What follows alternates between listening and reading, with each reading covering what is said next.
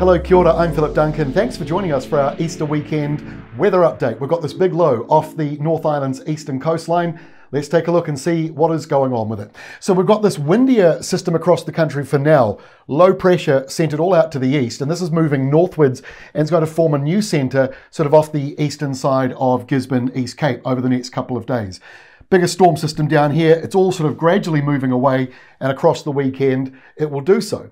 Over here to the west, the reason it's moving away, high pressure pushing on in. So it's a cold day today, Thursday, in Southland and Otago, but things do warm up as we go in towards the weekend. Maybe not so warm tomorrow, Good Friday, but Saturday, Sunday do start to see a warmer airflow.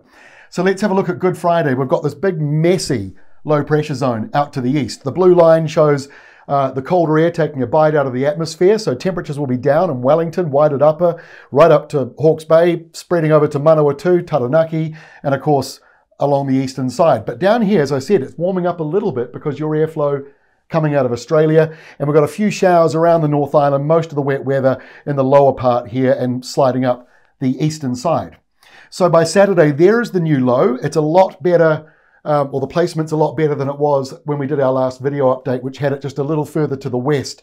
That movement to the east means that many places in the North Island are now looking dry. It might be windy, so if you're in a tent or an awning this weekend, it's blustery with that southeasterly flow. But southeasterlies are quite sunny for places like Waikato and Auckland, uh, sometimes Taranaki and Auckland as well, along with Coromandel Peninsula. So colder airflow, southeasterly, wet along the eastern side and the South Island pretty set, uh, settled under high pressure. And that high pressure zone, while it's parked out more towards Australia, keeps the South Island settled on Easter Sunday. The lows deepened a wee bit. Now, look, this could still move around a little bit. That's why we're doing another update tomorrow, Good Friday. We're going to be doing a special update.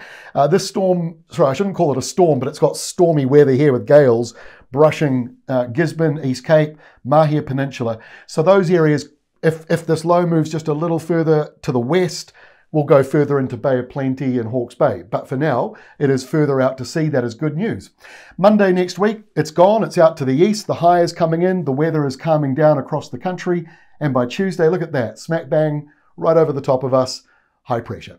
So that is the forecast for Easter weekend. Back again tomorrow, Good Friday, with our next update. We'll see you then.